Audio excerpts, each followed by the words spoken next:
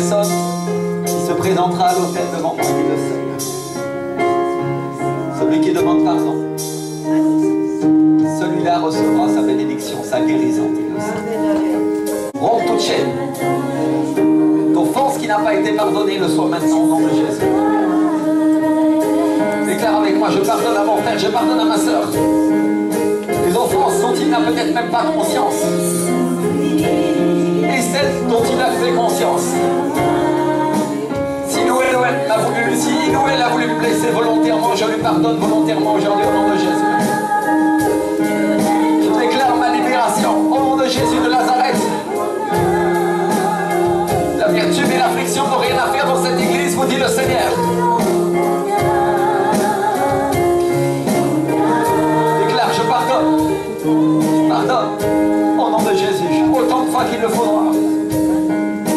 7 fois 77. Parce que je sais que ma guérison est plus importante. Je sais que c'est le prix pour ma guérison, Seigneur. Peut-être j'y pensais que c'était injuste. Mais toi, tu es juste, Seigneur. Qui suis-je pour te donner des leçons Je ne porterai plus de captifs dans mon cœur. De vivre. Alléluia Lève tes mains, lève tes mains, lève tes mains, lève tes mains. Reçois ta bénédiction, reçois ta guérison. Oh, Alléluia. Il y a un esprit de manque de pardon qui vient de partir de certaines personnes.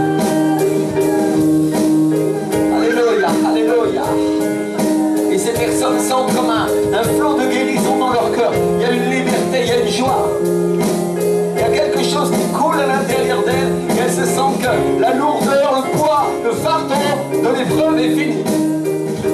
C'est terminé. Oh, Ramantake Ramante Kerimishaya. Elles sentent comme une tendresse nouvelle, une douceur nouvelle qui est en train de les envahir. C'est la présence du Saint-Esprit. Celui qui pardonne, celui-là sera guéri, dit le Seigneur.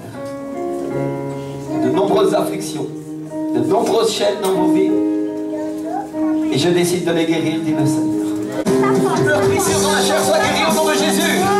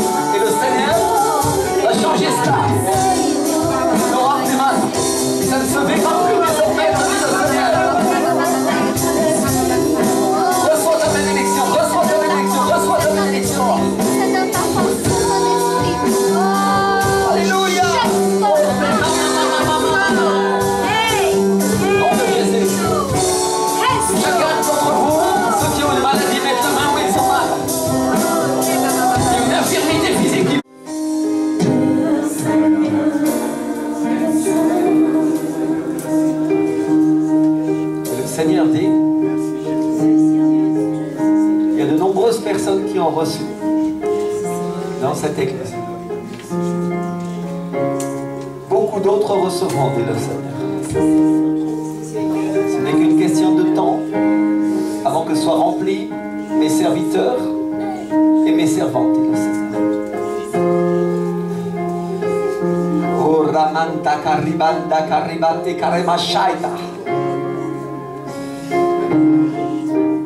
Le temps vient où j'amènerai la guérison à beaucoup de cœurs, dit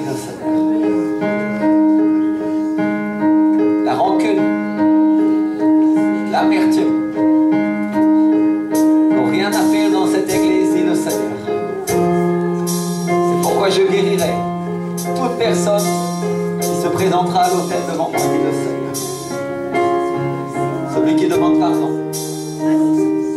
celui-là recevra sa bénédiction, sa guérison, dit. Romps toute chaîne. D'offense qui n'a pas été pardonnée le soit maintenant au nom de Jésus. Déclare avec moi, je pardonne à mon frère, je pardonne à ma soeur. Les offenses dont il n'a peut-être même pas conscience. Et celles dont il a fait conscience. Si elle, a voulu, si nous elle a voulu me blesser volontairement, je lui pardonne volontairement aujourd'hui au nom de Jésus. Je déclare ma libération au nom de Jésus de Nazareth. La vertu et l'affliction n'ont rien à faire dans cette église, vous dit le Seigneur.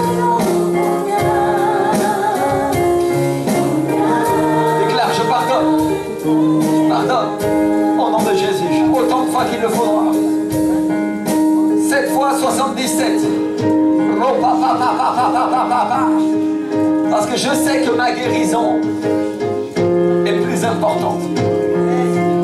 Je sais que c'est le prix pour ma guérison, Seigneur. Peut-être j'ai pensé que c'était injuste. Mais toi, tu es juste, Seigneur. Qui suis-je pour te donner des leçons Je ne porterai plus de captifs dans mon cœur.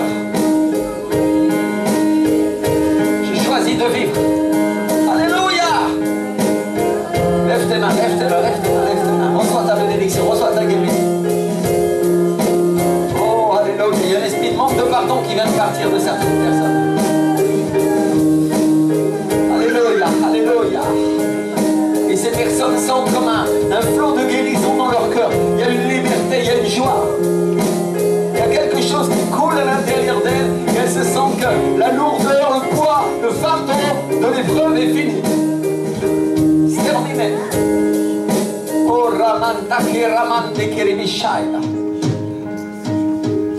Et elles sentent comme une tendresse nouvelle, une douceur nouvelle qui est en train de les envahir. C'est la présence du Saint-Esprit. Celui qui pardonne, celui-là sera guéri, dit le Seigneur. De nombreuses afflictions, de nombreuses chaînes dans vos vies. Et je décide de les guérir, dit le Seigneur. On va prendre ensemble la Bible au livre d'Ecclésiaste.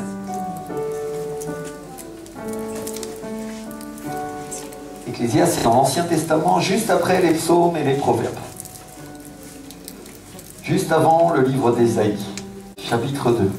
Je vais vous dire un petit peu ce qui m'a amené à cette prédication. J'étais en train de réfléchir à, l'œuvre de Dieu et puis au travail que nous on fait sous le soleil, non? Hein? Soleil harassant, je sais bien que c'est l'hiver ici, mais c'est dur, non? De servir le Seigneur parfois. C'est dur la vie chrétienne, mais c'est encore plus dur la vie dans ça c'est sûr. Et je réfléchissais à ça. Et je pensais, je, disais comment des nombreux hommes de Dieu, femmes de Dieu, des organisations ont bien commencé. Et puis euh, un jour, quand la personne qui avait la vision est partie, parce que souvent c'est comme ça que ça se passe, d'autres ont pris le relais, et puis ça a commencé à faire autre chose. Combien d'entre nous ont déjà vu ce genre de choses? Je l'ai vu. Je me suis rappelé de ce livre d'Ecclésiaste, chapitre 2, on va lire ensemble versets 18 et 19. La Bible nous dit J'ai haï tout le travail que j'ai fait sous le soleil, et dont je dois laisser la jouissance à l'homme qui me succédera, et qui sait s'il sera sage ou insensé. Dites avec moi sage ou insensé.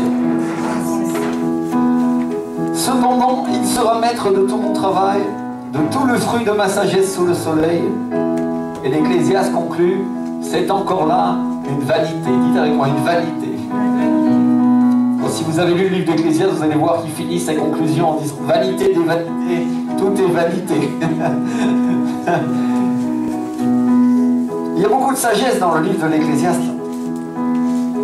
Et il y a une partie de ce verset qui vraiment a attiré mon attention, c'est le verset 19, qui dit Qui sait s'il sera sage ou insensé Qui sait s'il gérera bien sa vie ou non et comment il agira c'est difficile à savoir, non?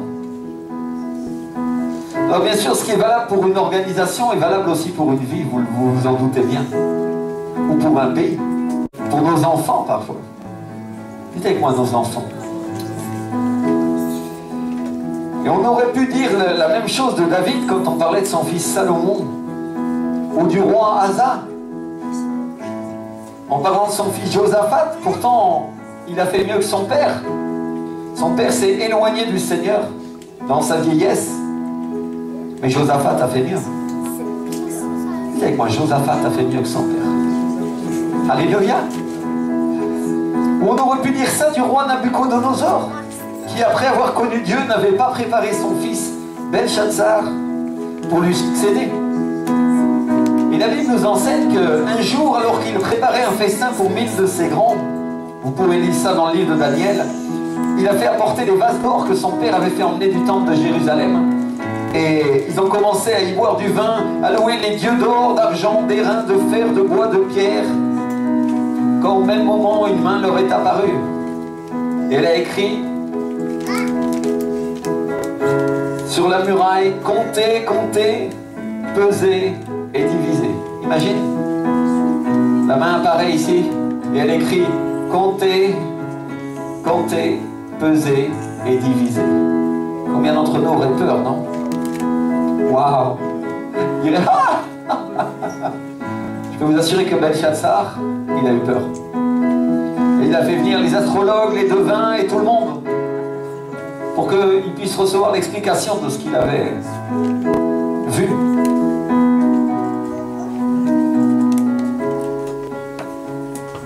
Dieu lui fait des reproches au travers du prophète Daniel qui lui donne l'explication en lui parlant de son père. Il lui dit, toi qui as vu ça, qui as vu ton père, comme il était humilié, comment il était écrasé, comment Dieu l'a relevé, je le reformule à ma manière, mais c'est le sens. Toi qui as vu tout ça, tu ne t'es pas humilié. Dis avec moi, tu ne t'es pas humilié. Pire, alors que tu savais ces choses, tu t'es élevé contre le Dieu des cieux. Mes frères et sœurs, il n'y a pas pire que de s'élever contre Dieu dans la vie. Et en plus, il ajoute, le Seigneur, tu as pris les vases de sa maison et tu t'en es servi pour adorer les dieux d'argent, d'or, d'airain, de fer, de bois, de pierre, qui n'entendent rien, qui ne savent rien. On est en train de parler d'idoles, mes frères et sœurs. Qu'est-ce que Dieu a reproché à Belshazzar? De ne pas avoir honoré et adoré Dieu. Alors que son père Nabucodonosor avait été humilié, la Bible dit qu'il avait eu la rosée, il avait perdu son royaume et Dieu lui avait rendu ensuite au moment où il avait accepté de dire c'est vrai, c'est Dieu qui règne. Mais Belshazzar, il n'a pas eu le même sort. Vous comprenez? On peut dire vraiment que Dieu a fait miséricorde à Nabucodonosor si vous lisez son histoire. Mais Belshazzar, il l'a condamné.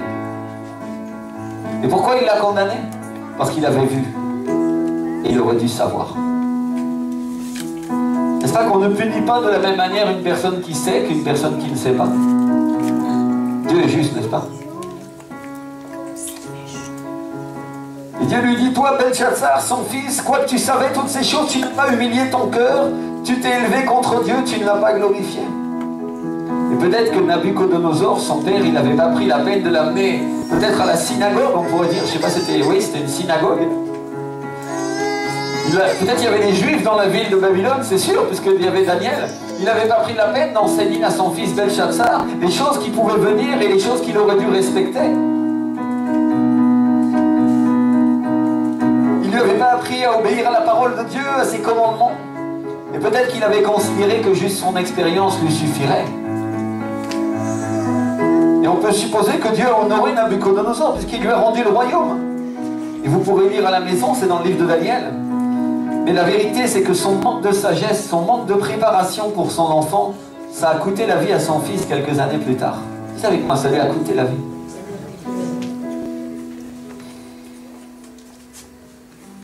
Et pourtant son père avait dit, moi Nabucodonosor, je loue, j'exalte et je glorifie le roi des cieux dont toutes les œuvres sont vraies et les voies justes et qui peut abaisser ceux qui marchent avec orgueil.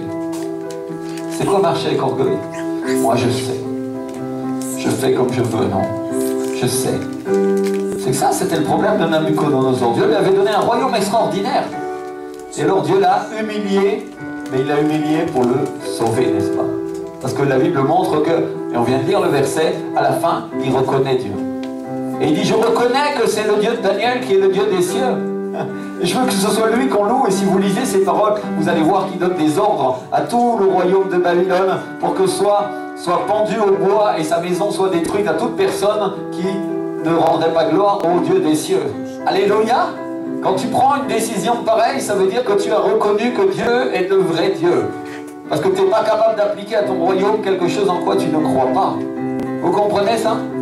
On peut dire que Nabucodonosor, a payé un certain prix pour arriver à cette révélation de la vérité, de reconnaître que Dieu était Dieu.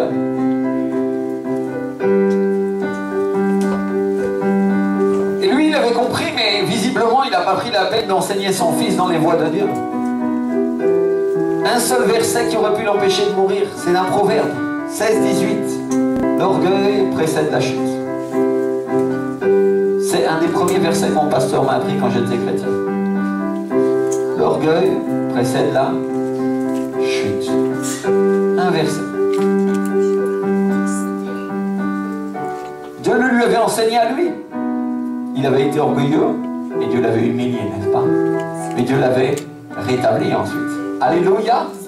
Mais son fils qui aurait dû recevoir son enseignement, lui est mort. Vous comprenez ça? Et parce qu'il n'avait pas tenu compte d'un autre verset qui est écrit dans la Torah, dans l'Ancien Testament. Tu enseigneras cette parole à tes enfants et aux enfants de tes enfants. J'ai toujours enseigné dans cette église que celui qui rate une session, un cours, un jour, il peut être affronté dans une difficulté une fois et ne pas réussir et ne pas avoir la victoire. Vous vous souvenez ça? Qui était là quand j'ai enseigné ça? Il y en a un là? Deux? Croire Ah, à Dieu, hein Et c'est vrai. Et le Seigneur nous donne comme ordre d'enseigner à nos enfants. Il parle de nos enfants matériels et il parle de nos enfants spirituels, bien sûr. Alléluia. Qu'est-ce que je suis en train de faire aujourd'hui? J'enseigne aux enfants que Dieu m'a confiés. Ce ne sont pas mes enfants, ce sont les enfants du Seigneur. Vous êtes les brebis du Seigneur. Et je vous enseigne. Parce que Dieu m'a demandé de le faire. Alléluia, c'est mon travail. Et vous aussi, vous avez des enfants. Il y en a, ils ont des enfants matériels et d'autres, c'est des enfants spirituels. Et ils ont la responsabilité de les enseigner. Amen. Pour qu'il leur arrive pas malheur. Et pourquoi il faut enseigner les enfants? Parce que la Bible dit que quand ils seront grands, ils ne s'en écarteront point. Alléluia. Myriam peut vous raconter un tas d'exemples de gens qu'elle a enseignés ou qui ont été enseignés dans l'école du dimanche, des enfants, et qui ont fait des bêtises plus grandes, mais qui après sont revenus à Dieu. Alléluia. Pourquoi? Parce que leur cœur avait été semé la parole de Dieu. Amen. On ne peut pas compter que sur l'école du dimanche pour enseigner nos enfants, il faut enseigner aussi nous-mêmes, non? On a la responsabilité de les enseigner. Pas de raconter les histoires de la Bible, c'est bien de le faire. Gloire à Dieu si tu le fais. Ce que Dieu veut, c'est que tu les enseignes comme je t'enseigne. Que Dieu veut, c'est que l'enseignement soit spirituel, qu'il soit efficace et adapté à l'orage, et qu'il puisse comprendre une vérité que toi-même tu as compris.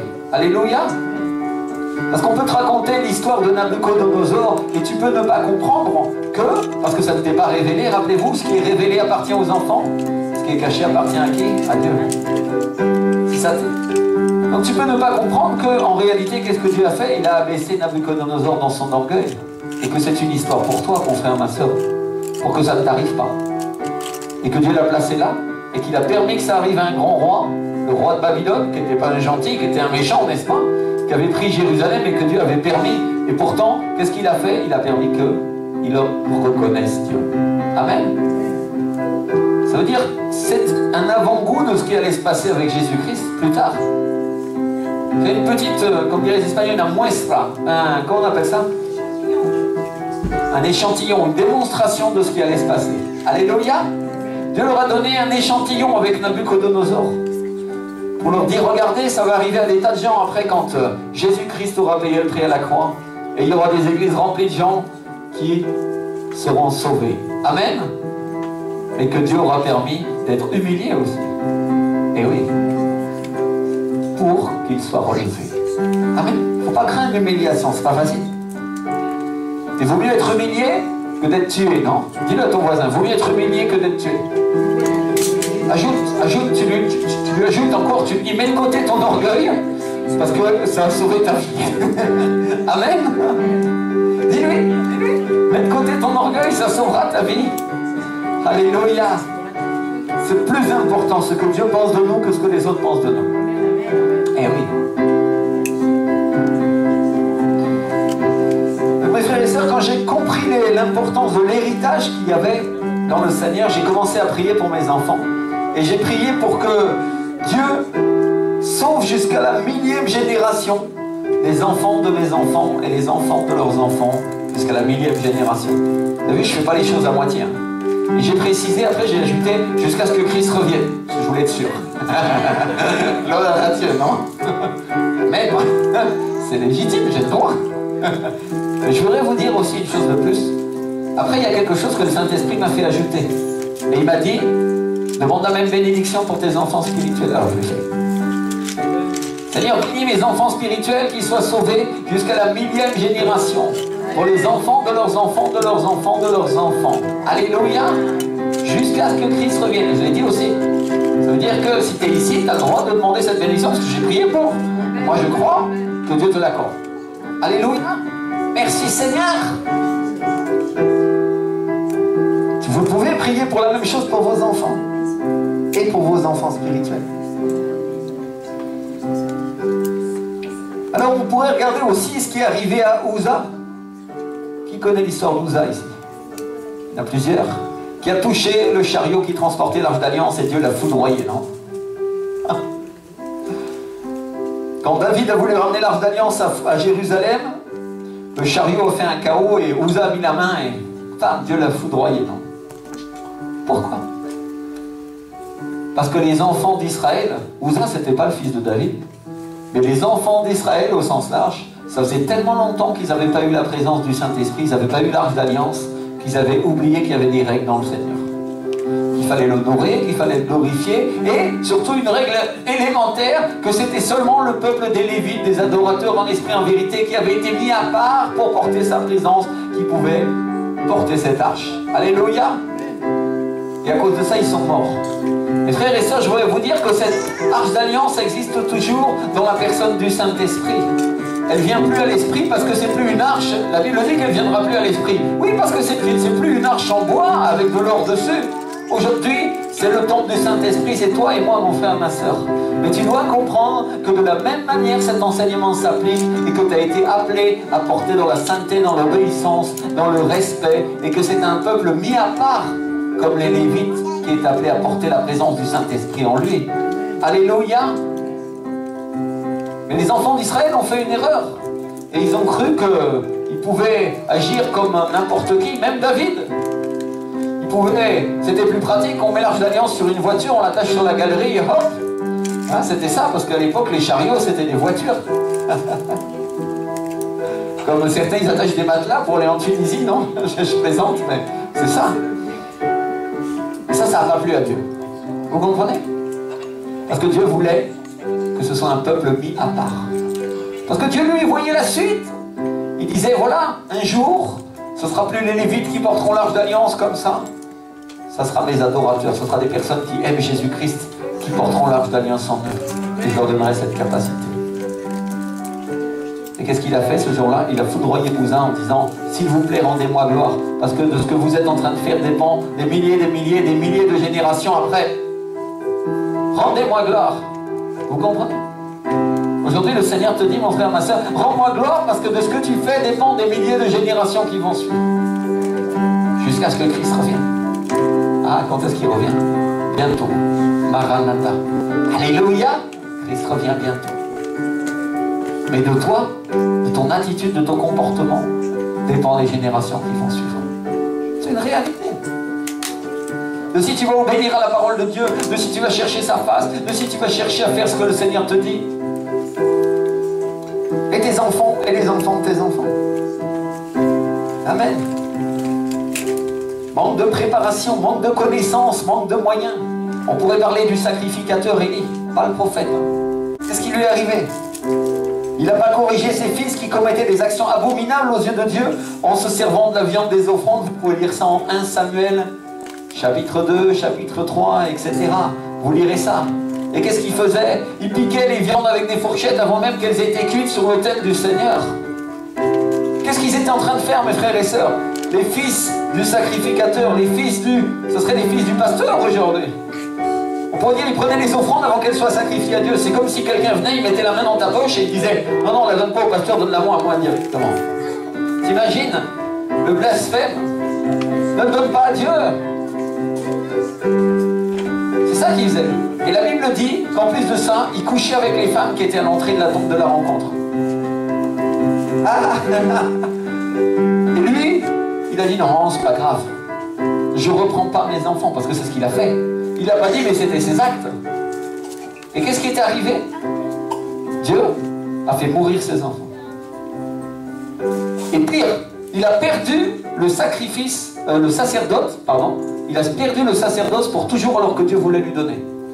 Dieu voulait lui donner un représentant de sa famille pour toujours. Et les enfants et les enfants de ses enfants auraient toujours été des prêtres pour le Seigneur. Et à la place de ça, Dieu lui a dit, tu verras dans ma présence, tu verras dans moi un ennemi pour toi. Parce qu'il n'a pas repris ses enfants. Parce qu'il ne les a pas corrigés. avec moi, corrigés. Waouh, vous avez vu la responsabilité On n'est plus en train de parler de choses humaines, on est en train de parler de choses spirituelles, célestes. Il a perdu ça, parce qu'il ne les avait pas corrigés. Dieu lui a dit, tu verras un adversaire dans ma demeure, tandis qu'Israël sera comblé de biens, dit l'Éternel. Lui qui était un serviteur de Dieu. C'est dur, hein Il avait dit que c'est une chose terrible de tomber entre les mains du Dieu vivant. Donc mon frère, ma soeur, c'est nécessaire de corriger nos enfants. Avec moi, c'est nécessaire. Alléluia. Dieu nous le demande. Et à l'heure où, ici dans le gouvernement, j'ai entendu dire qu'on parlait de supprimer la fessée encore. Les enfants se réjouissent. Ce serait interdit, non? Imaginez-vous, quel genre d'enfants les générations d'aujourd'hui vont créer? On a vu dans les années 70, avec l'avènement de Tolstoy, non, la psychologie, l'enfant roi, qu'est-ce que ça a donné? Ce qu'on est aujourd'hui. Génération de gens rebelles qui veulent faire que ce qu'ils ont envie. Et on a été mal élevés, mes frères et sœurs. Ils n'en déplaisent à nos parents, et moi j'en fais partie. Après, ils se sont repentis, ils ont connu Jésus. C'est pas de leur faute, ils ne savaient pas avant. Mais la réalité, c'est qu'on a été mal élevés. Et que Dieu est obligé de faire un travail de reconstruction avec nos vies. Rappelez-vous que nous venons d'Égypte. Nous aussi, on a été esclaves en Égypte. Et Dieu veut que nous enterrions l'Égyptien une fois pour toutes. Amen. Il veut que t'enterres les vêtements de l'Égyptien, l'odeur de l'Égyptien, la, la façon d'agir de l'Égyptien et des esclaves. Dieu veut que ce soit fini cela. Amen.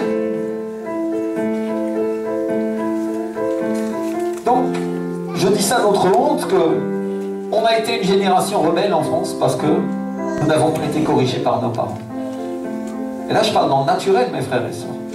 Alors, dans le spirituel, j'ose même pas en parler, je suis pas assez vieux pour en parler. Mais ce que j'en vois me suffit à ma peine. Très honnêtement. La vérité, c'est que nous devrions nous laisser corriger Amen. Oh, il n'y a eu qu'un seul Amen. Ah Quand on parle de correction, personne n'en a envie, n'est-ce pas? Mais pourtant, c'est ça qui nous sauve la vie bien souvent. Amen. La Bible dit dans le livre des Proverbes que celui qui ne corrige pas son fils le déteste, mais que celui qui l'aime cherche à le corriger. Il n'a pas dit à le battre, il n'a pas dit à le passer à tabac. Ça, c'est une abomination et je tolère que personne fasse ces choses-là. Si ton père t'a battu, rappelle-toi d'une chose. Dieu n'est pas comme ça. Il n'est pas une autorité de cette sorte-là. Vous comprenez? S'il ne connaît pas Dieu, parce qu'un père qui bat ses enfants et qui connaît Dieu, je n'en connais pas. S'il bat ses enfants, ça veut dire que la réalité, il ne connaît pas Dieu. S'il t'a battu, dis-toi bien que la figure paternelle qu'est Jésus-Christ, ce n'est pas cela. Alléluia Et que c'est sous l'influence du diable qu'il a fait ça. Et on parle de corriger. Une bonne fessée de temps en temps, ça fait pas de mal, non? À la limite, une claque le jour où tu es énervé. Fais attention de ne pas le blesser quand même, non? Si tu blesses ton enfant, alors bah, tu seras le premier embêté d'ailleurs. Si tu aimes vraiment tes enfants, tu seras vraiment embêté, non? Tu lui mets une gifle un jour de fatigue et bon, après il y a des grosses marques de doigts là, tu dis ah. Mais une bonne fessée, ça fait pas mal, non? C'est lui qui met les doigts dans la prise, non Moi j'ai vu des mamans dans les salles d'attente, là, c'est terrible. Je suis pas en train de parler des, gens qui aiment mal leurs enfants. Hein. Parce qu'en réalité, hein, c'est une analogie spirituelle que je veux faire. Mais j'en ai vu. Qu'est-ce qui se passait? Les enfants étaient insupportables. Ils tiraient pour crier, ils faisaient je sais pas quoi, ils allaient. Mais ils auraient mis les, les couteaux dans la prise, ça aurait été. Et ils avaient du mal à les retenir. Une bonne fessée. Tu vas voir qu'il va rester assis, il va être bien sage. c'est vrai, non Alors on va dire. Ah, peut-être la première fois qu'il va crier au supermarché. Qui va au supermarché avec des enfants petits Moi, Il est grand maintenant, hein, mais bon, j'ai eu l'expérience. Ouais, je veux le jouer, je veux Il y en a, ils se jettent par terre et ils font un scandale et tout le supermarché les regarde et les parents, ils n'osent pas leur donnent le jouet. Non, mais une bonne fessée. Moi, vous allez dire, vous allez dire que j'étais dur, mais La vérité, c'est que si un enfant faisait un scandale devant moi, je lui mettais une deuxième fessée pour qu'il soit sûr de savoir pourquoi il, pleurait. Il recommençait pas.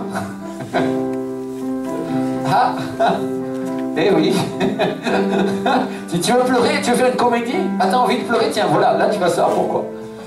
Bon, j'en mettais pas deux, ça suffisait, c'était fini. La deuxième, c'était bon, j'en mettais pas deux de suite euh, après, après la première. C'était suffisant c'est resté dans son cœur. Amen. Mais il y a certains chrétiens, quand leur pasteur les, les corrige, ils interprètent que le pasteur ne les aime pas. On a des petits-enfants en réalité. C'est une réalité, non? Non, maman m'aime pas, il m'a mis une fessée. Si, maman t'aime, papa t'aime, mais la vérité, c'est quoi? Tu faisais mal Il allait t'arriver un malheur. T'allais traverser la route, il y avait un 30 tonnes qui venait, et bon. Là, j'ai pas eu le temps, je t'ai attrapé par l'oreille, c'est vrai. mais bon, peut-être tu n'auras pas eu l'oreille arrachée, mais en tout cas, le poids lourd ne t'est pas passé dessus. Qui avait raison? Vous comprenez? Des fois, les parents font ce qu'ils peuvent, ils ont du mal aussi à rattraper des enfants. Certains sont terribles, non? Qui c'est qui a été un enfant terrible Moi. Moi, j'étais un enfant terrible, j'ai pas honte de l'avouer. J'ai honte aujourd'hui parce que. Mais la vérité, c'est que mes parents avaient tort aussi. Ils ne connaissaient pas Jésus. Alléluia. Donc on ne peut pas se comporter comme les, gens du monde. je voudrais que tu te tournes vers ton voisin, vers ta voisine, tu vas lui dire, tu dois enseigner cette parole à tes enfants. Et t'ajoutes, et aux enfants de tes enfants. Et aux enfants de tes enfants. Et aux enfants de tes enfants. Alléluia. Alors tu vas dire, qu'est-ce que je fais dans un foyer où l'autre n'est pas chrétien? Enseigne-leur quand même, parce que Dieu te demandera des comptes sinon. Mais ma femme, mon mari va crier. Enseigne-leur dans l'esprit. Parce que sinon, Dieu te demandera des comptes pour ça. C'est réel. Donc, mon frère, ma soeur, quand j'ai commencé à comprendre cette importance de l'héritage, ben, j'ai commencé à prier, non? Je voudrais que chacun d'entre nous, on commence à prier pour savoir comment bénir les gens. Je parlais des chrétiens qui ne veulent pas être disciplinés, mais je voudrais vous dire aussi que c'est, il n'y a rien de plus facile que de brosser quelqu'un dans le sens du poil et de rien lui dire et de lui dire tout va bien. Facile. T'inquiète pas, ma soeur. tu peux avoir trois maris. Il n'y a pas de souci. Tu pourras même chanter dans la louange. Je peux faire ça. Est-ce que c'est biblique? Non. Vous comprenez? Mais c'est facile.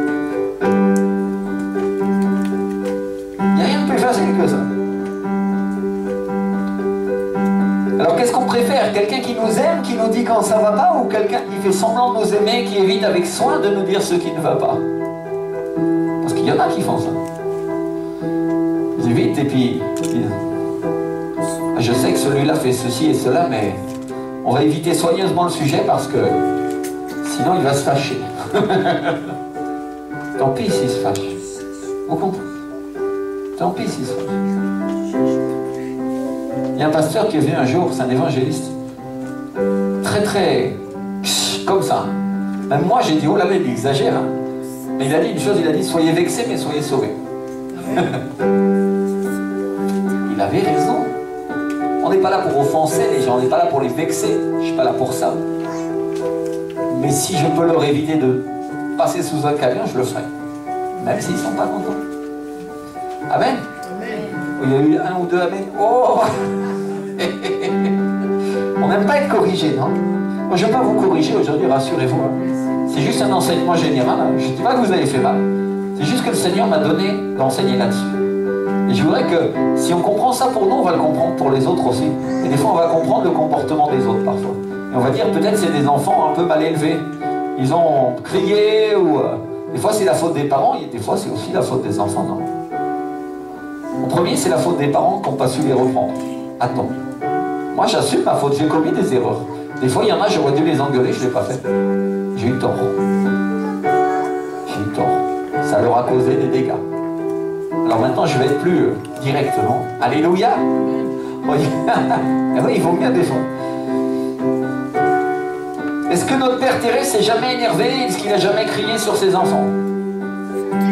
Ah, Mon fils, je ne lui demande pas. Hein. Il va dire oui en criant. Ton papa, Pierre? Déjà énervé Quand tu étais petit, t'avais une fessée Rarement, tu étais un enfant sage. Alléluia Pasteur Michel, ton père, il t'a corrigé C'est ta mère qui te corrigeait Ah Ah oui, mais bon, t'es une fille sage maintenant. Une femme sage. Alléluia. C'est une réalité. Est-ce qu'il a arrêté d'être ton père ou est-ce qu'elle a arrêté d'être ta mère pour autant?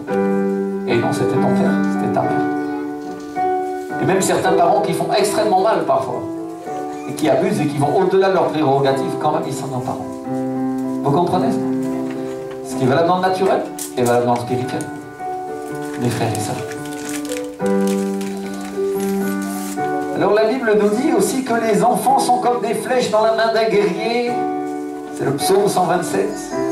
Et qu'il ne sera pas confus quand il parlera avec des ennemis à la porte de la ville. Heureux l'homme qui en a rempli son carquois. Qui connaît ce verset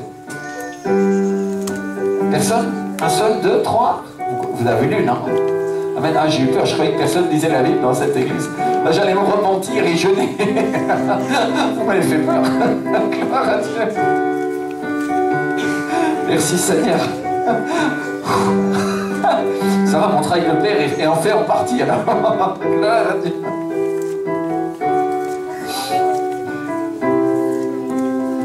Heureux celui qui a des fils et des filles, qui soient spirituels ou des filles, c'est des filles matérielles. Amen. De leur chair, de leur sang. Mais c'est pas tout d'avoir des flèches.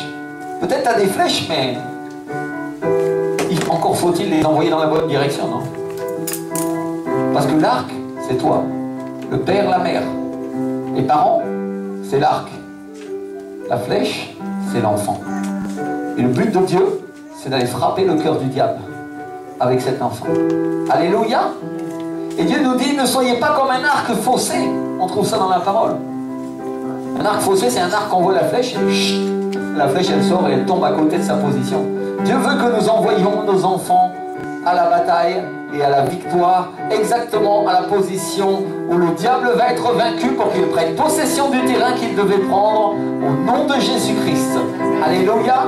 Celui qui a des oreilles pour entendre, entende. Tu as été appelé, tu es un enfant, tu es envoyé par l'arc. Et la question, c'est est-ce que tu vas te comporter correctement et tu vas atteindre ton objectif dans le Seigneur? Et est-ce que les enfants que Dieu t'a confiés atteindront leur objectif également? Parce que tu es responsable d'eux.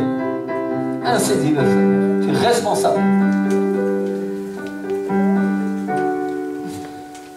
Donc on est responsable de les éduquer, de les corriger à temps, avant qu'ils commettent des erreurs, mais ils ont évidemment leur part de responsabilité. Sinon tous les enfants seraient parfaits. Ah, Peut-être qu'en France, tous les enfants sont, parfaits. Moi, je n'étais pas un enfant parfait. je ne suis pas encore. Je m'en vante pas, mais je fais des efforts. Alléluia. Chacun d'entre nous doit faire des efforts.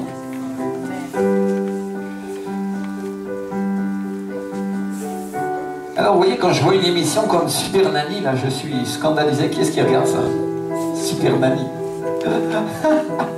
Elle arrive et les gamins, c'est un, c'est un carnage. Vous avez vu comme les enfants reconnaissent l'autorité aussi Quand ils voient quelqu'un qui sait dans le naturel, parce que là, on ne peut pas parler que c'est une femme de Dieu, hein, elle ne connaît pas le Seigneur. Mais cette femme-là, dans le naturel, elle sait. Elle se pointe là, elle regarde les enfants et le gamin, il a peur. Il dit Ouh Celle-là, elle va me mettre une bonne fessée, ça ne va pas marcher, non ah. Et dans le spirituel, c'est pareil, il faut savoir reconnaître l'autorité aussi. Amen. Le Père, c'est Dieu le Père. La mère, c'est qui? C'est l'Église. L'Église, c'est la mère. Qui met au jour des enfants. Et la mère aussi a le droit de corriger. Et qu'est-ce qu'il vaut mieux être corrigé par sa mère? Tu me disais que c'était ta maman Ou il faut être corrigé par son père quand il rentre du travail J'ai entendu plein de mères qui disaient Attention les enfants, votre père va arriver. il va sortir la ceinture. Comme une menace. Parce que c'est pire d'être corrigé par le père, en général. Dans le naturel, peut-être pas toujours. Mais dans le spirituel, croyez-moi. Il il vaut mieux être corrigé par l'Église que être corrigé par Dieu. Croyez-moi. Celui qui est corrigé par Dieu, il le passe mal. Amen. On va lire ensemble le Proverbe 29, verset 15. Gardez le doigt à Ecclésias, prenez le livre des Proverbes. C'est juste avant.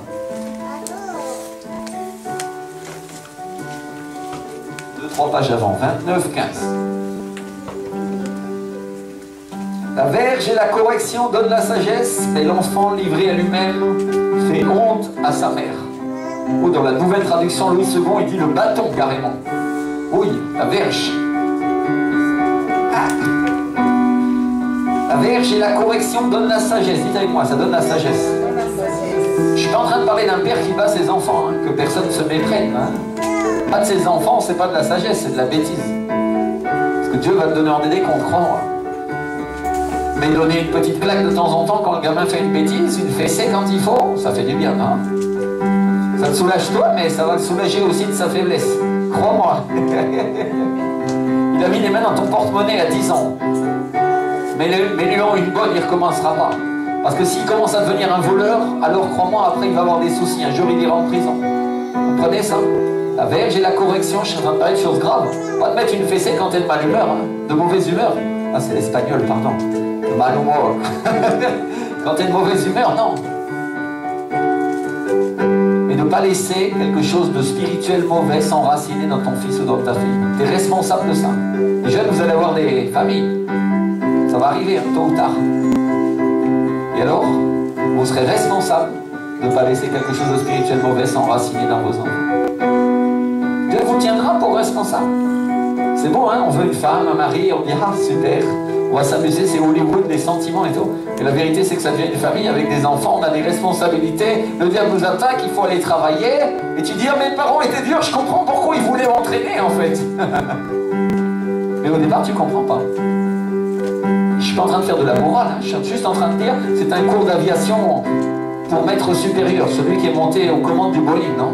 Parce que celui qui commande un Boeing, il a, combien, il a combien de passagers dans le Boeing? Pas mal, non? Alléluia Avoir une famille, c'est avoir quelques enfants. Et tu pilotes un petit avion de tourisme, c'est déjà pas facile quand il y a du vent, non Mais si tu, si tu commences à piloter un 737, tu vas voir, il y a déjà 120 passagers dans certains modèles c'est un beau bazar. On a pris l'avion pour la, Grèce l'autre jour et moi j'ai vu une chose incroyable, on en parlait ici après le culte l'autre jour, que les, les, membres de l'équipage c'était des jeunes. Ils avaient tous entre 20 et 25 ans et ils étaient incapables de se faire respecter. Et il y a des gens qui commençaient à se lever pendant l'atterrissage et tout, ils n'arrivaient pas, c'était un beau bazar. Et moi j'avais jamais vu ça sur aucune compagnie. Mais ça m'a fait réfléchir et j'ai dit Seigneur, dans l'église ça ne doit pas arriver. Et dans notre famille, ça ne doit pas arriver non plus. On doit arriver à se faire respecter.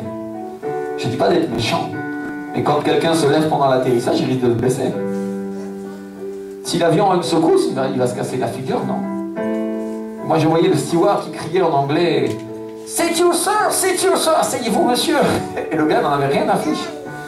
Et à la fin, il s'est assis au milieu du couloir. C'est pas ça, faire respecter l'autorité. Vous comprenez? Nous sommes responsables du vol que nous emmenons. Aujourd'hui, moi, je suis responsable du vol que j'emmène dans cette église. Parce qu'on s'envole avec le Seigneur. Et Dieu m'a donné une machine à faire voler. Alléluia. Vous savez, on applaudit toujours le pilote pour les atterrissages. Non, moi, je, je préférais qu'on l'applaudisse pas, moi. Parce que c'est normal, il doit se poser bien. Gloire à Dieu. Vous comprenez? Mais on a chacun d'entre nous des responsabilités différentes. Certains sont chefs de 5, d'autres de 10, d'autres de 100 et d'autres de 100 000. Gloire à Dieu pour celui qui a 100 000 personnes. Mais 100 000 personnes, c'est 100 000 fois plus de problèmes aussi.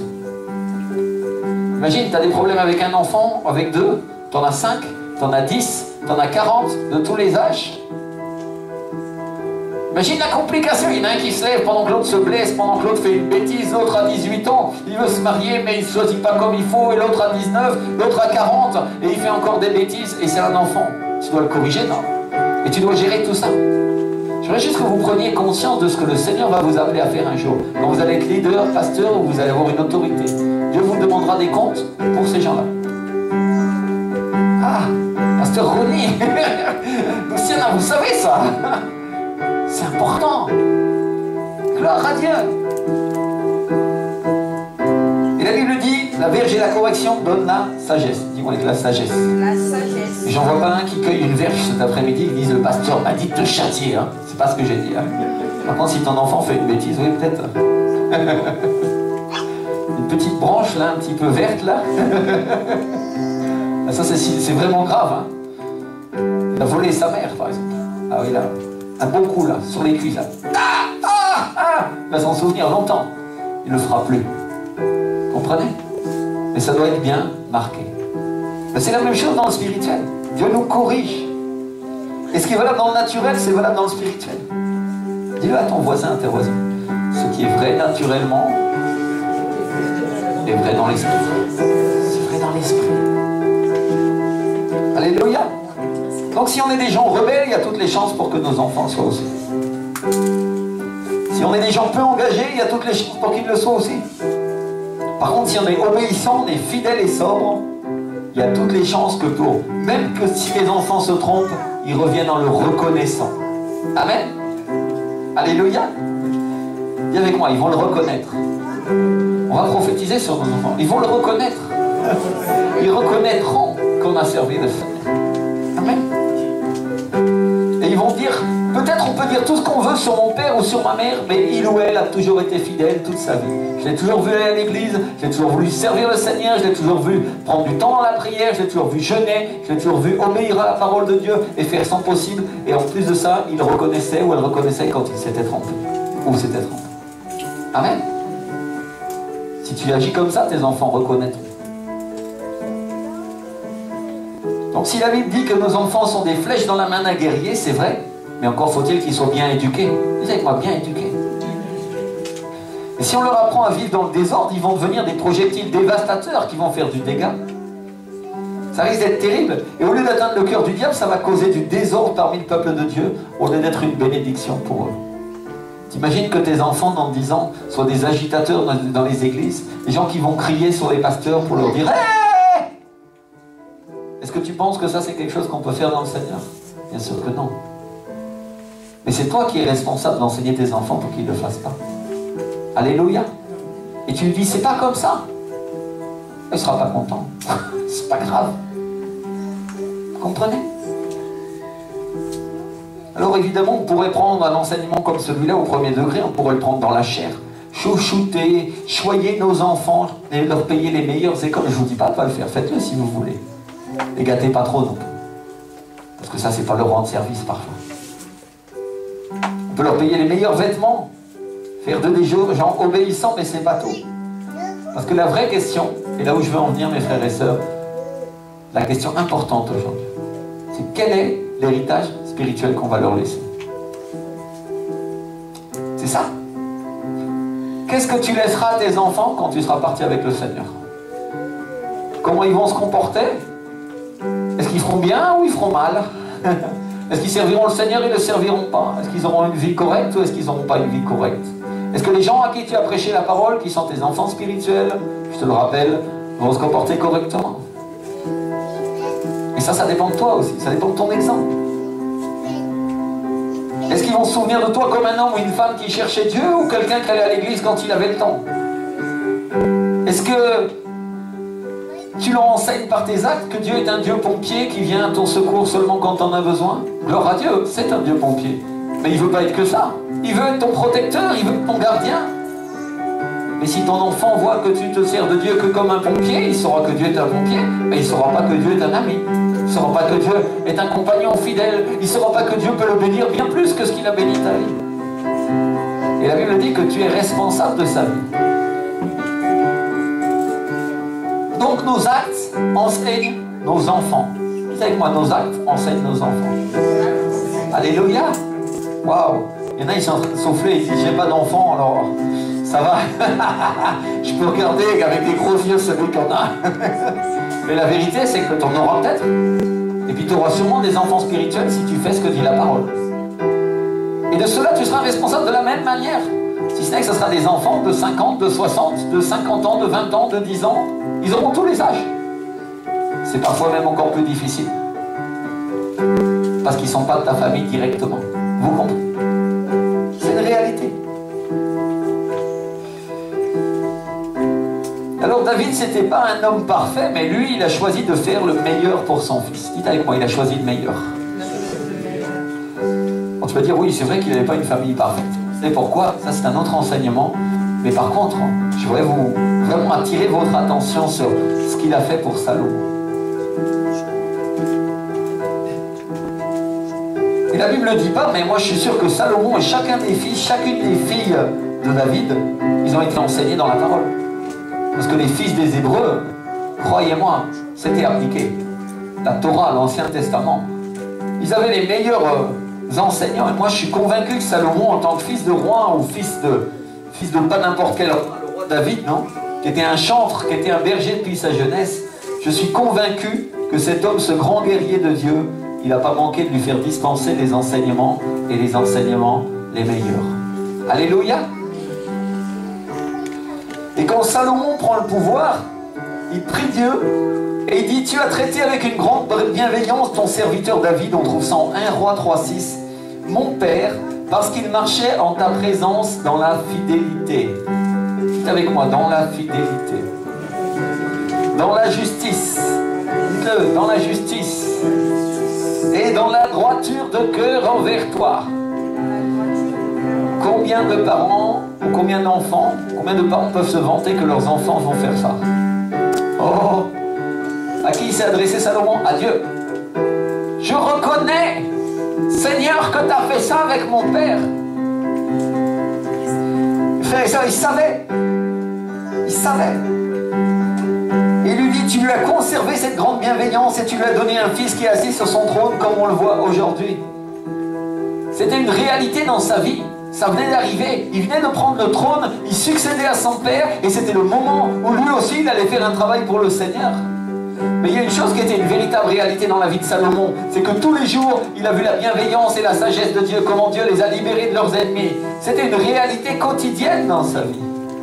Alléluia. Et ce jour-là, il pouvait dire à Dieu, je sais ce que tu as fait pour mon père. Oh Seigneur, incroyable ce que tu as fait. Alors mon frère, ma soeur, qu'est-ce qu'on veut? Est-ce qu'on veut que nos enfants puissent dire j'ai été élevé dans une église où il y avait des livres poussiéreux et le pasteur le dimanche faisait un sermon et, et après je sortais et je faisais ce que j'avais envie? Ou alors, j'ai été élevé dans une église de réveil et mes enfants ont vu les miracles du Saint-Esprit. Ils ont vu la puissance de Dieu toucher ma vie. Ils ont vu comment Dieu a changé mon cœur et comment j'ai galéré. J'ai eu des difficultés, mais j'ai essayé d'obéir à la parole de Dieu. Et j'ai fait tout mon possible pour qu'ils soient élevés aussi dans l'esprit. Qu'est-ce que tu veux? Parce que ta décision aura de l'impact sur tes enfants. Alléluia. Et ça ne dépend pas des autres. Hein. Ça dépend de toi. C'est ton comportement, ton attitude, si tu fais des compromis ou tu n'en fais pas. Certains vont dire au pasteur, t'es trop radical. Ah oui, mais bon. Christ, il a dit, celui qui prend pas sa croix et ne me suit pas, il ne peut pas être mon disciple. Donc si tu veux que ton enfant soit un disciple du Seigneur, il faut que tu en sois un toi-même. Alléluia. Ça veut dire que tu peux passer par derrière au vestiaire, là tu vas voir des croix accrochées et tu peux la prendre et porter ta croix. Des difficultés, c'est pas facile des fois. On souffre, non? Mais à la fin, ça porte du fruit. Vous savez quoi, ça porte du fruit? Il y a une bénédiction qui vient dans ta vie. Il y a une bénédiction qui vient dans ton cœur. Et il y a un changement qui vient activer les choses de l'esprit en toi. Des gens qui connaissent la théorie par cœur, ils n'atteignent jamais leurs objectifs. Ça, c'est comme avoir tous les ingrédients d'une recette et ne pas savoir cuisiner. À quoi ça sert? J'ai fait venir les meilleurs homards, mais je ne sais pas comment les cuire. J'ai tous les ingrédients pour la sauce, mais Pierre, je suis désolé. Hein. Euh, je voulais te recevoir à Noël, par exemple, et, et je ne sais pas cuisiner. À quoi ça va te servir? Je vais t'inviter à manger un homard cru, parce que je ne sais pas qu'il faut le cuire. Il, va te pincer parce que je ne l'aurais pas tué avant. Vous comprenez? Avec la parole de Dieu, c'est la même chose. Je peux avoir tous les ingrédients de la recette de cuisine. Si je ne sais pas cuisiner, qui sait cuisiner la parole, mes frères et sœurs? Qui est le cuisinier en chef Le Saint-Esprit? Amen. Gloire à Dieu, j'ai un fils, là, il est terrible. Hein. il n'est pas parfait, mais il est terrible. Gloire à Dieu. Le Saint-Esprit, c'est le cuisinier. Il va te montrer la parole, il va te la révéler, il va te la montrer, il va te montrer quand elle s'applique, quand elle ne s'applique pas, et ce qu'il faut faire dans cette situation-là et pas dans celle-là. Être ami avec le Saint-Esprit, c'est être ami avec le chef des chefs. C'est être ami avec celui qui dirige, qui commande et qui établit la parole, l'Esprit de Jésus-Christ. Alléluia. Jésus-Christ étant la parole lui-même, tu vas avoir des facilités à cuisiner. Alléluia. Mon père spirituel, il raconte dans son livre une chose qui m'a beaucoup impacté. Il disait qu'à l'Institut biblique, il était le meilleur. Pourquoi? Parce qu'il priait toujours, il disait Saint-Esprit, révèle-moi. Et il avait toujours les meilleures notes. Parce que les autres étudiants n'arrivaient pas à ce résultat-là. Parce qu'ils n'avaient pas une telle relation avec Dieu. Vous comprenez La qualité de ta relation avec Dieu fait aussi la qualité de ta recette de cuisine. Amen.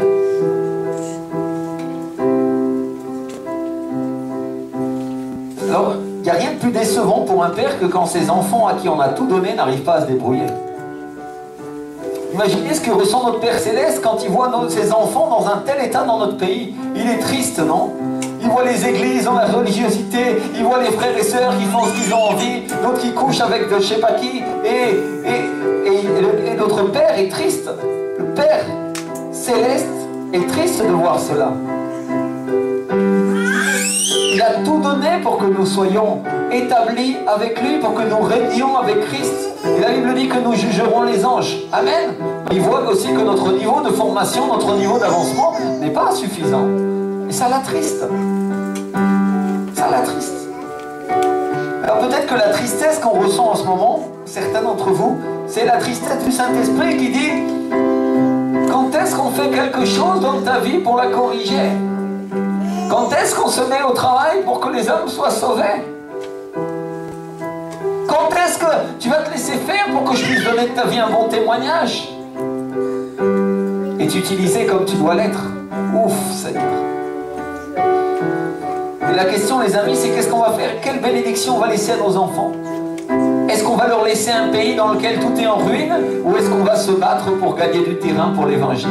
Alléluia Ça dépend pas que de nous, ça dépend de Dieu, mais ça dépend de nous aussi. N'oubliez pas que quand on n'obéit pas à Dieu, Dieu peut changer les choses. Est-ce qu'on va laisser des outils et des armes à nos enfants pour qu'ils sachent se défendre dans la vie? Avec la connaissance de Dieu, avec la parole, avec les principes et les valeurs qui sont dans la Bible Avec le témoignage de ce qu'on a dû faire pour recevoir et pour atteindre l'onction Alléluia mon frère, ma soeur, quand tu imposes les mains, Dieu veut que le malade soit guéri. Quand tu parles à quelqu'un, il veut qu'il soit convaincu que tu puisses aller à l'église. Ça, c'est son objectif. Mais ça dépend aussi de toi. Amen. Et c'est pas par ta force. Parce que c'est là l'erreur de la plupart des croyants et des pasteurs. On croit toujours que par nos forces, on va arriver à quelque chose. Et la Bible nous dit, ni par force, ni par puissance, mais par mon. Pourquoi Dieu fait mourir la chair en ce moment? En nous, parce qu'il veut que ce soit l'esprit qui vive. Et eh oui, quand l'esprit vit, alors c'est différent. il y a une chose qui est sûre et certaine, c'est qu'on ne peut pas donner ce qu'on n'a pas reçu. Et mes frères et sœurs, je parle des choses de l'esprit. Tu ne peux pas donner à tes enfants ce que tu n'as pas atteint toi-même. C'est impossible. Alors laisse-moi te poser une question Qu'est-ce que tu as reçu de Dieu? Et qu'est-ce que tu vas être capable de transmettre à tes enfants?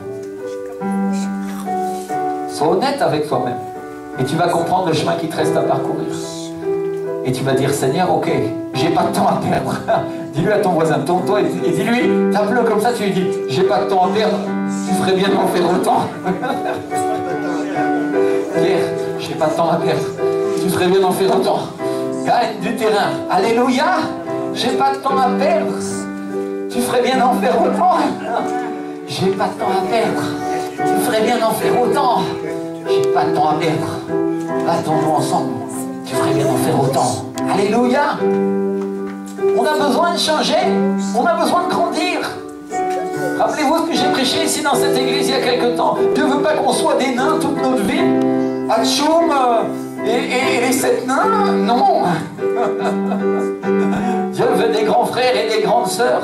Comment Dieu va te confier des enfants en bas âge si tu n'es pas fiché de t'occuper de ta propre vie? Et je parle d'enfants spirituels. Avoir des enfants naturels, c'est une chose. Avoir des enfants spirituels, c'en est une autre. Alléluia.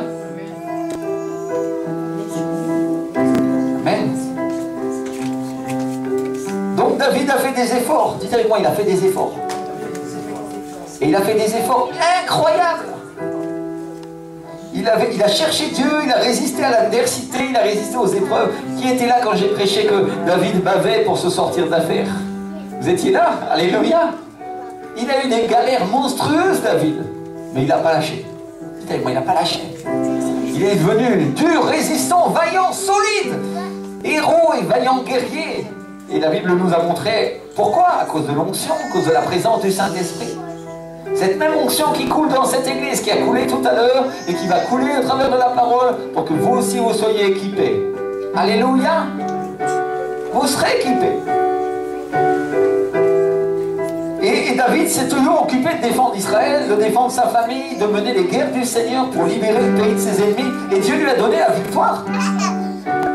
Et à ce moment, quand on est en train de parler, il en est à savoir de ce qui va se faire après lui, de comment le pays va être géré. Parce que David, mes frères et sœurs, à ce moment-là, est sur le point de mourir.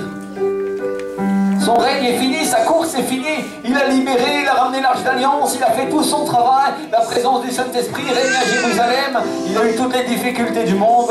Il a commis des erreurs et malheureusement, c'est un autre enseignement, mais ça a eu un impact sur beaucoup de ses enfants. Et il en est à dire maintenant qui va régner, comment ça va se passer. Et regardez comment Dieu change le mal en bien. Salomon, fils de la femme avec laquelle il a péché. Mais Dieu change parce qu'il s'est repenti, il a demandé pardon. Alléluia. Celui qui s'humilie, celui-là sera relevé. Merci Seigneur. Est-ce que Dieu a condamné ah, Le premier, oui, mais le deuxième, non. Parce qu'il n'a pas été fait dans les mêmes conditions. Donc lequel d'entre nous aujourd'hui est capable ici de dire autant J'ai mené les guerres du Seigneur, Dieu m'a donné l'onction, et maintenant je vais préparer la relève. je ne suis pas en train de vous dire que je prépare la relève. Hein. Mais ce que je suis en train de vous dire aujourd'hui, c'est que nous sommes responsables de le faire pour la suite du temps. Amen. Nous sommes responsables. Et là, il dit que David avait préparé pour Salomon un héritage. Vous savez quoi, un héritage? Et c'est quelque chose qui allait lui permettre de construire le temple que Dieu avait juré à David que son fils construirait. Si on lit 1 Chronique 22, verset 14, la Bible dit 100 000 talents d'or, 1 million de talents d'argent, et une quantité d'airain et de fer qu'il n'est pas possible de peser, car il y en a en abondance. Et pourquoi David a préparé cela? Est-ce que c'était pour Salomon? Non. C'était pour la maison du Seigneur. C'est avec moi pour la maison du Seigneur. Mon frère, ma soeur, Dieu va te demander de préparer un héritage à tes enfants pour qu'ils soient capables de bâtir la maison du Seigneur, d'abord dans leur propre vie et ensuite la maison du Seigneur tout court, collectif, qui s'appelle l'Église. Il y a un héritage pour eux. Amen. Et David dit à Salomon, j'ai mis de côté par mes efforts. Dis-le à ton voisin, tu as des efforts à faire pour que tes enfants puissent construire après toi. Dis-lui. Il y a encore des efforts. Il y a encore des efforts à faire pour que ton fils, ta fille puisse construire après toi. Amen. Il y en a certains là, ils sentent vieux d'un seul coup. Ils disent Oh la vache Combien de temps il reste à dire ma vie? Qu'est-ce qui est? Combien de temps de course? Je cours avec le relais, mais oh Seigneur Et vous savez ce qu'on fait dans les derniers temps, dans la course de relais? Plus on approche de l'objectif, plus on accélère. Dites avec moi, plus on accélère. Eh oui, hein, c'est pas pour rien. Vous voyez les vieux pasteurs, là, ils sont en train de prêcher la repentance et tout. parce qu'ils accélèrent. Ils le font pour leur vie aussi. Parce qu'ils savent que bientôt, ils vont voir Jésus. Dans les courses de relais, plus on avance et plus on accélère.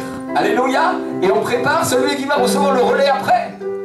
Il y a un entraîneur à ses côtés qui est en train de le préparer. Il dit Paul, mon fils, sois courageux parce que le relais, la flamme du Saint-Esprit, va être sur ta vie, tu vas la porter. Marc, la présence de Dieu va être sur ta vie. Bats-toi et sois courageux. Dieu a des années à former, mais après tu vas porter. Et ainsi de suite. Georgette, ma fille, prête à porter. Et il y a des enfants qui vont porter après toi. Par toi. Le Seigneur est là. C'est un principe de Dieu. Amen. Certains vont dire, ah oui, les parents dans le monde, ils mettent aussi de côté des choses pour leurs enfants. Mais là, c'était même pas pour, pour lui, c'était pour Dieu. C'est moi, c'est pour Dieu. C'est ça la différence entre le peuple de Dieu et les gens du monde. Personne t'interdit de mettre de côté pour tes enfants. Gloire à Dieu, fais-le. Réjouis-toi parce qu'ils auront. Physiquement, spirituellement. Mais mets de côté aussi pour Dieu, parce qu'ils ont un travail à accomplir. Quel est parmi vous le bon économe, fidèle, dirait le Seigneur? Ah, Qui a mis de côté. Moi j'ajoute, pour que ces enfants puissent prospérer un jour dans la parole de Dieu. Amen. Quel est le bon économe? Est-ce que Jésus nous a pas demandé d'amasser des trésors dans le ciel? Où la rouille et la nielle ne frappent pas, où les voleurs ne percent ni ne dévorent Ne dérobent, pardon. Donc on est responsable de semer dans le cœur de nos enfants des richesses spirituelles, des richesses célestes, inépuisables, pour que eux aussi puissent avoir un trésor avec eux. Amen. Waouh Et si tu n'as pas reçu, comment tu vas donner? Vous comprenez? Quand les amis de Job sont venus après que Dieu lui ait tout restitué, qu'est-ce qu'ils ont fait? Chacun lui a offert un anneau d'or et une kessita. Pourquoi? Parce qu'il savait qu'il avait besoin de quelque chose pour redémarrer. Vous comprenez? La Bible dit qu'on donne à celui qui a et qu'on retira à celui qui n'a pas. Bien sûr, Dieu lui avait redonné. Mais eux, ils sont venus rajouter en plus. Pourquoi? Parce que plus il avait, et plus il allait pouvoir recevoir. C'est ça des amis. Mes frères et sœurs, je veux être un ami pour vous. Et je voudrais vous dire, vous avez reçu des choses de Dieu, et je voudrais vous en apporter encore aujourd'hui. Consécration, autorité, sagesse, justice de Dieu, pour que vous aussi, vous puissiez prospérer dans la parole de Dieu. Et que ce que vous avez vous permette d'en recevoir encore. Alléluia.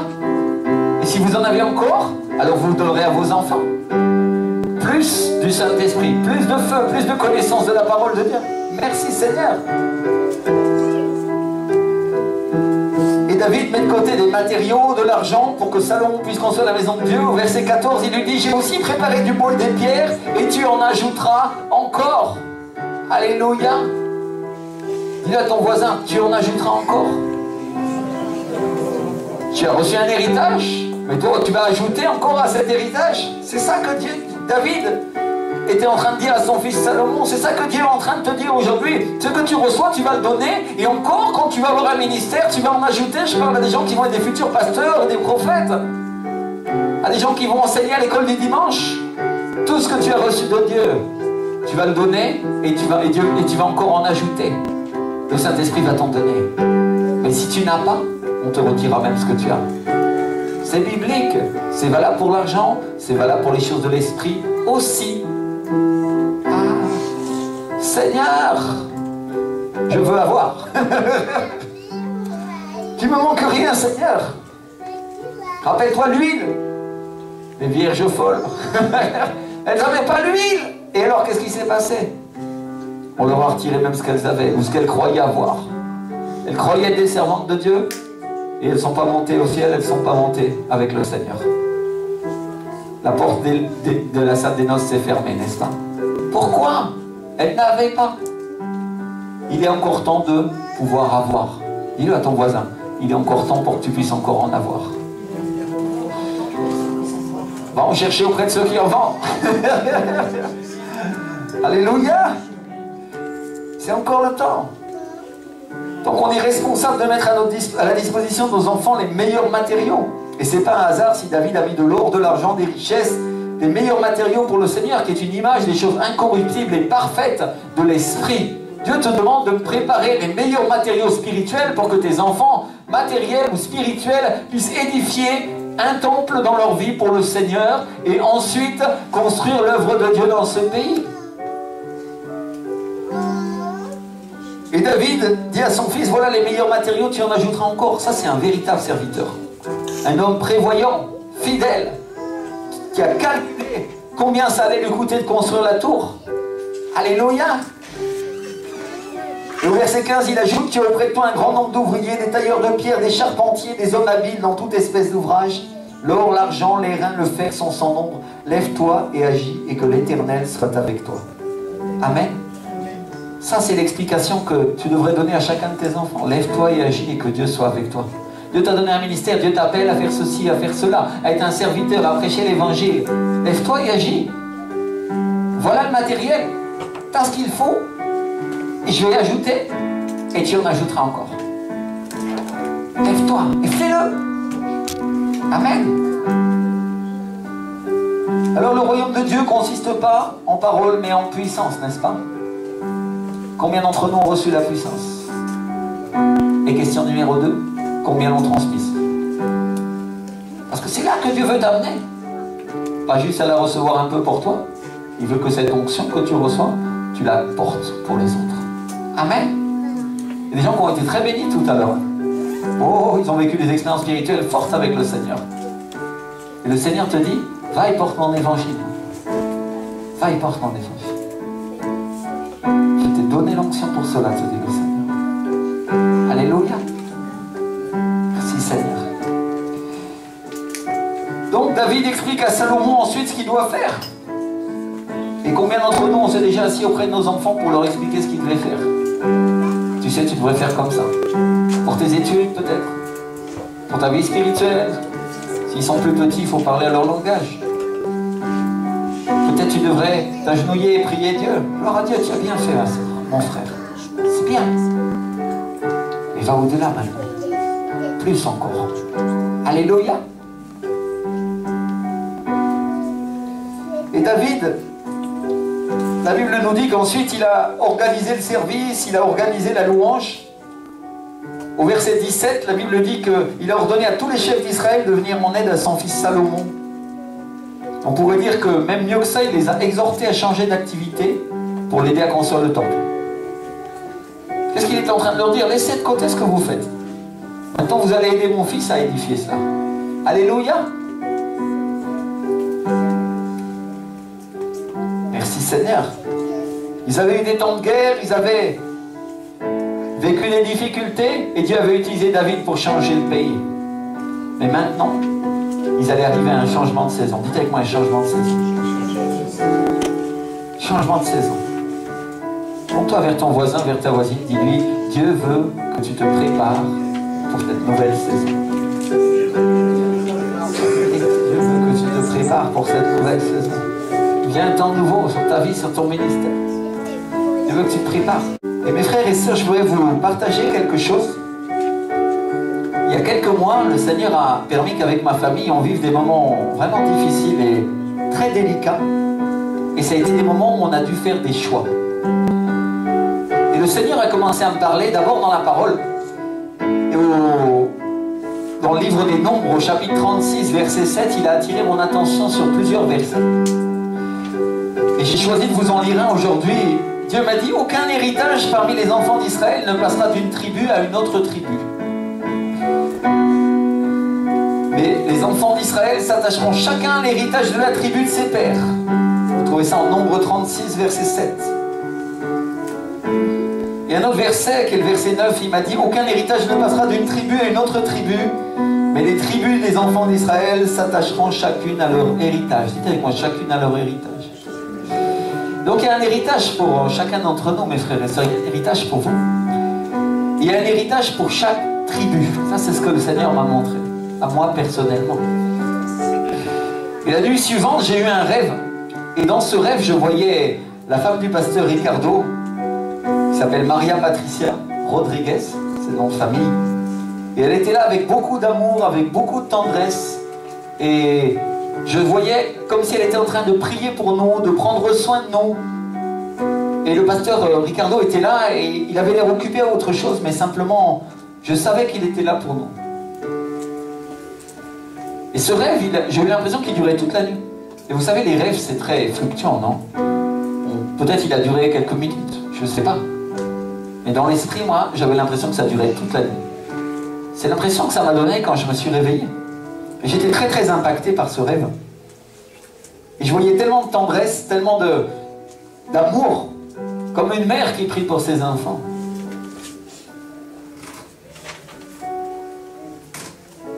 Et quand je me suis réveillé, j'ai commencé à prier, non? J'ai passé du temps avec le Seigneur le, matin.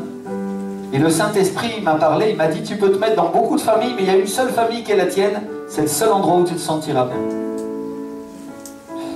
Et j'étais touché, je me suis mis à pleurer, j'ai compris que Dieu m'a dit de ne pas renier l'héritage de mes pères. Ce que mon père spirituel m'a donné, c'était pour moi, non? Vous comprenez? Dieu m'a vraiment attiré mon attention là-dessus. Il m'a secoué, il a permis qu'on vive des, des difficultés, des problèmes, pour qu'on puisse comprendre ces choses-là. J'ai parlé à ma femme et on a pris conseil auprès de gens qui sont spirituellement avancés dans le ministère. Et on a pris la décision d'obéir à Dieu. J'ai parlé à quelques-uns des anciens il y a quelques semaines. Gens qui pouvaient comprendre ces choses-là ou qui sont avec nous depuis un moment. Et qui avaient la maturité pour l'entendre. Et puis récemment, j'ai appelé le pasteur euh, Valdez à Bogota. C'est le numéro 2 de l'église Avivamiento. Et je lui ai raconté ce rêve. Je lui ai raconté ce que le Seigneur m'a dit. Je lui ai raconté ce rêve. Et quand euh, il a parlé avec moi, il est très gentil, on le connaît bien.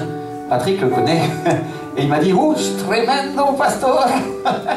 Et tremendo, ça veut dire c'est incroyable, c'est waouh, c'est fort, c'est super, c'est, quelque chose de merveilleux. Et je sentais vraiment une présence de Dieu très très forte quand il disait ça. Et je venais de raccrocher avec lui. Et Dieu m'a amené dans la parole, dans un passage de Deutéronome, qui est, Deutéronome 33, verset 13. Et le Seigneur m'a parlé. Et on va lire ensemble ce passage. Deutéronome, chapitre 33, verset 13, dans l'Ancien Testament.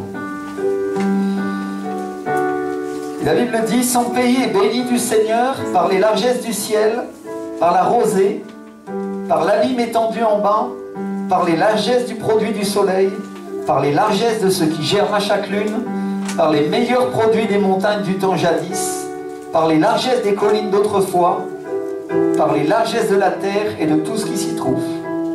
Que la faveur de celui qui demeure dans le buisson vienne sur la tête de Joseph, sur le crâne de celui qui a été consacré parmi ses frères.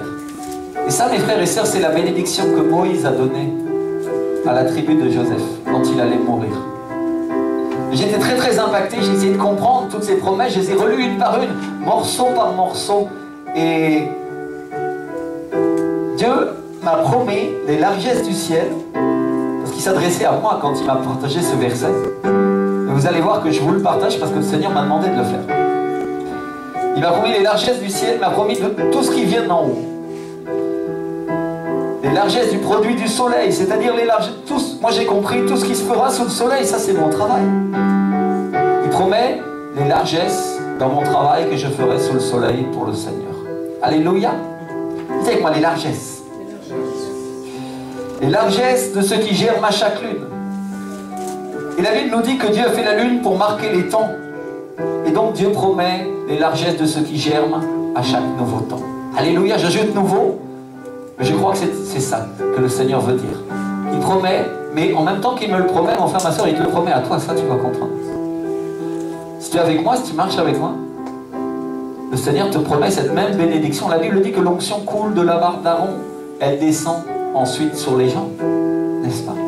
La bénédiction vient par en haut. Si Dieu promet ça à ton pasteur, il le promet à toi également. Tu peux t'accaparer de cette bénédiction. Largesse de ce qui se fait sous le soleil dont on travaille pour le Seigneur. Largesse de ce qui germe avec le temps. Amen. Alléluia.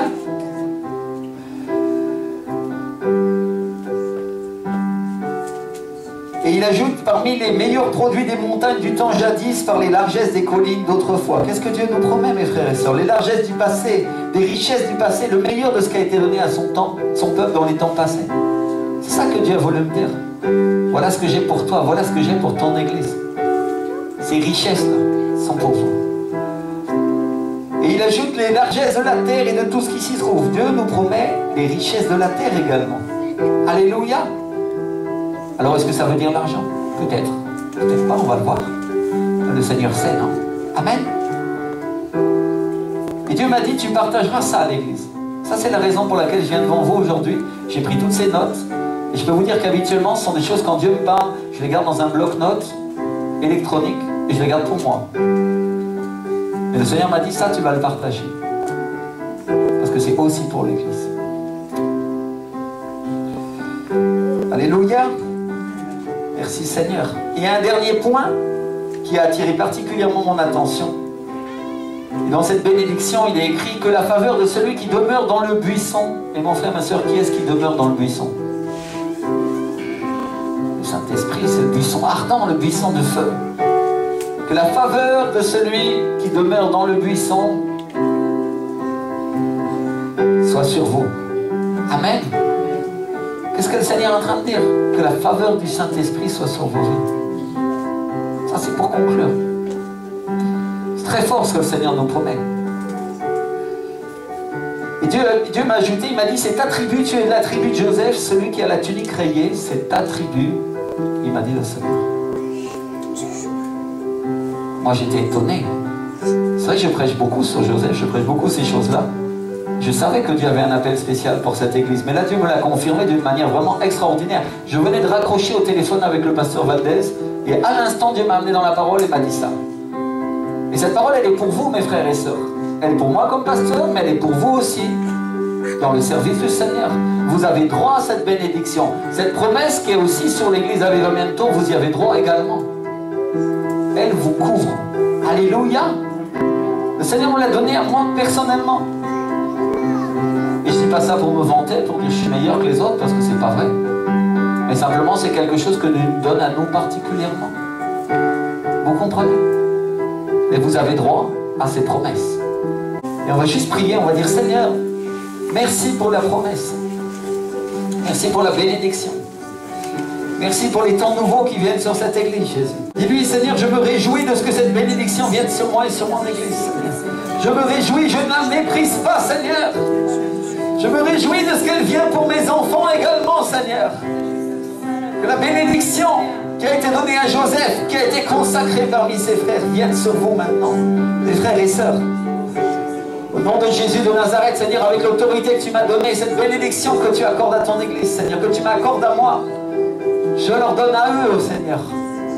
Ô éternel, je les bénis, Seigneur, au nom de Jésus de Nazareth, Seigneur. Que la bénédiction du Saint-Esprit, oh, que la bénédiction de ce qui se fait dans leur travail pour le Seigneur, de ce qui se fait sous le soleil, soit sur leur vie, Seigneur. Que le fruit de ce qui marque les temps, Seigneur, soit sur leur vie également, Jésus. Oh, remata karamana mama. Je bénis chacun de mes enfants spirituels dans cette église, Seigneur. Au nom de Jésus de Nazareth, Seigneur. Je déclare la bénédiction et la prospérité de l'Esprit sur leur vie, sur celle de leurs enfants et des enfants de leurs enfants jusqu'à la millième génération. Au nom de Jésus de Nazareth, Seigneur. Nos enfants spirituels également, Seigneur. Alléluia. Que cette promesse qui coule sur moi, Seigneur, et que tu m'as donné après avoir juste raccroché le téléphone, Seigneur, soit sur leur vie, Seigneur. Mon Dieu, tu m'as demandé de l'annoncer, je l'ai fait, Jésus. Cher Saint-Esprit, Seigneur, révèle-leur pour qu'elle leur soit accordée, Seigneur. Que ce ne soit pas juste une parole que le pasteur leur a donnée un dimanche, mais un réma vivant dans leur vie au nom de Jésus de Nazareth. Qu'ils sachent que c'est la diète de cette église, Seigneur. Puissance de Dieu sur leur vie, Seigneur. Oh, je déclare, Seigneur, Alléluia, que toute cette bénédiction, toutes ces richesses de l'Esprit viennent sur leur vie et qu'ils seront capables de les transmettre à leurs enfants et aux enfants de leurs enfants. Nom de Jésus de Nazareth, Seigneur. Tribu rayée, la tribu de Joseph, celle qui a la faveur. Seigneur, je les bénis au nom de Jésus.